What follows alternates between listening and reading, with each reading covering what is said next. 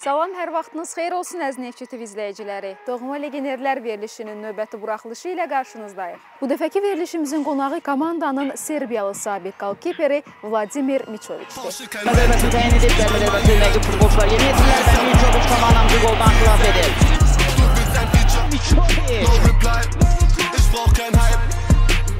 Ee, topun Mbappé'ye gəlməsinə imkan vermədi və Miçoviç və Miçoviç Neftçini qoldan xilas edir. Neftçi ilə birlik kubokunu qazanan qolkiper çempionluq xatirələrini danışdı. Həqiqətən çox güclü kollektivimiz var idi. İlk gündən birlik kubokunu qazana biləcəyimizə inanırdıq. 5 il ağqaraların şərəfində qorunmuş Miçoviç kimi klub tarixinin ən yaxşı qapıçısı hesab edir. Kimi qeyd edə bilərəm?